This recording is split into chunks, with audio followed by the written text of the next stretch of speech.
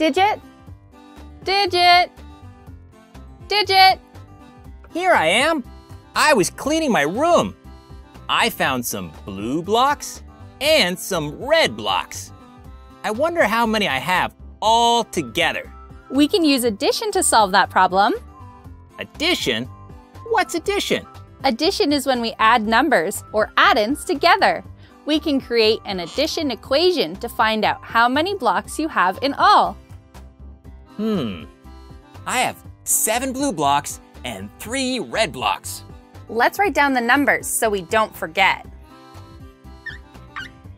To make this equation, we need a symbol in between the two numbers we're adding. This symbol is called a plus sign. It shows that we are adding 7 and 3 together. Let's count. One, two, three, four, five, six, seven. Now count on to find the sum. Eight, nine, ten. There are 10 blocks in total. You should write that down. Oh wait, we're still missing something. We need one more symbol.